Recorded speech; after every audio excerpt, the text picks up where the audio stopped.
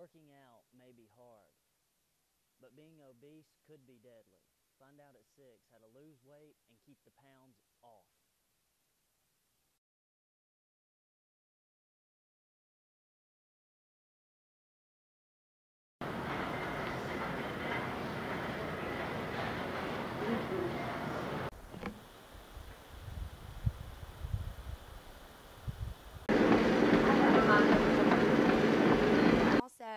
Lot of our food that we eat today, the portion sizes are way out of whack.